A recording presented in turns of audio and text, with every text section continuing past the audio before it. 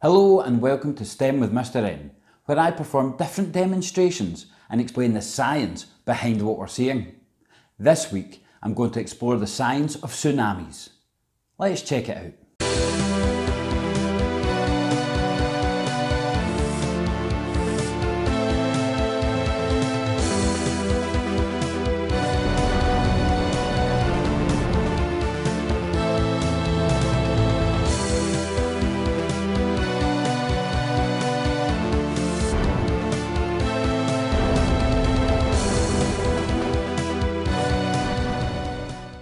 Tsunamis are often misnamed tidal waves.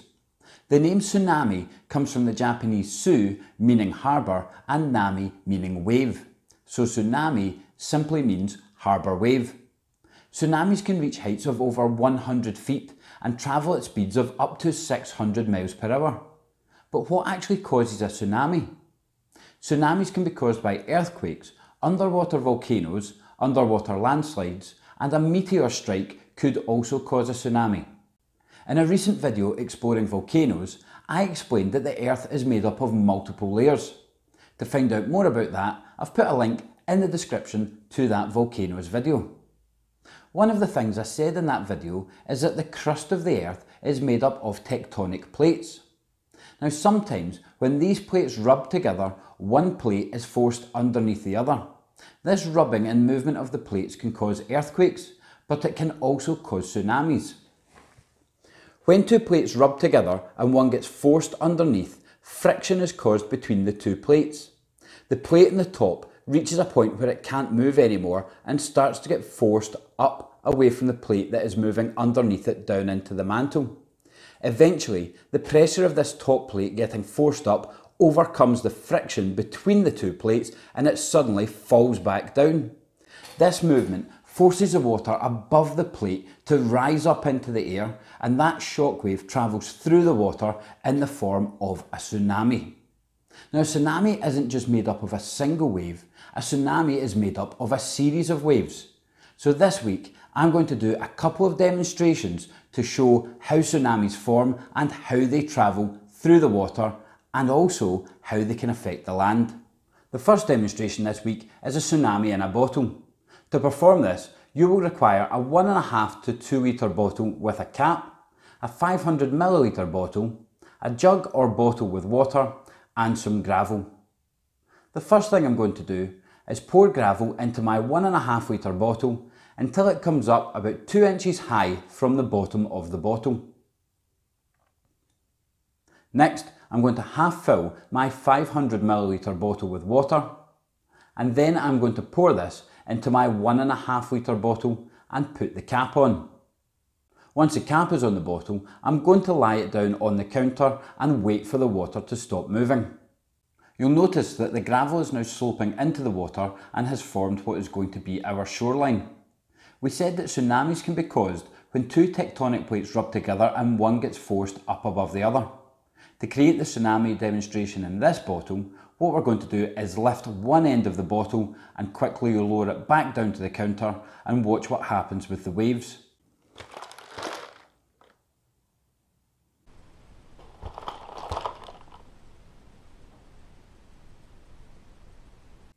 When we first lift the end of the bottle it causes a big wave to rush up the shoreline and when we quickly put it back down the waves don't stop there but they keep coming up to the shoreline and taking bits of gravel away with it.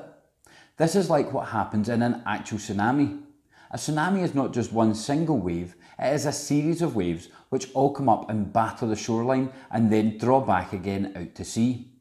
The next demonstration is going to look at tsunamis in a bit more detail with them washing up to the shoreline and the effects it can have on things on the shore. For the second demonstration, I've got a large clear plastic tub, some newspaper, some gravel, some sand a sheet of plastic and some of my son's toys. I'm going to set this up and show you how to create another tsunami demonstration. The first thing I'm going to do is ball up some newspaper and place this at one end of the tub and this is going to be the start of my shoreline. Next I'm going to pour some gravel on top of the newspaper and in front of it to start building up a sloped shoreline.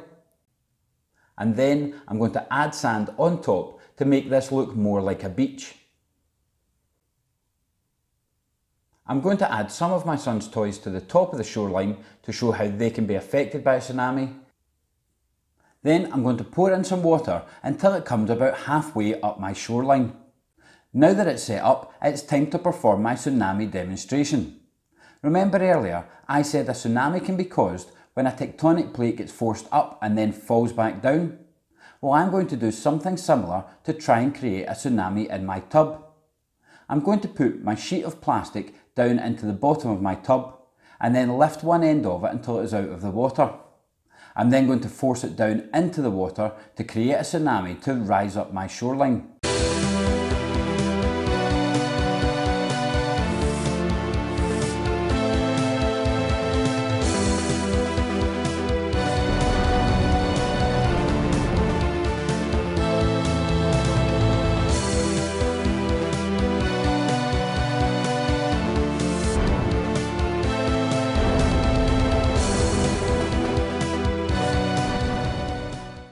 You'll notice that pushing the plastic down into the water isn't creating a very big wave that's going up my shoreline, so I'm going to change my approach. I'm going to use a sheet of plastic to push the water from one end to the other to create a bigger wave. This isn't really cheating, because when a tsunami starts, it is a series of small waves that hit together and get bigger and bigger as they approach the shoreline. All I'm doing is creating this initial push with a bit of plastic but you'll see the waves start to hit together and get bigger before they reach my shoreline.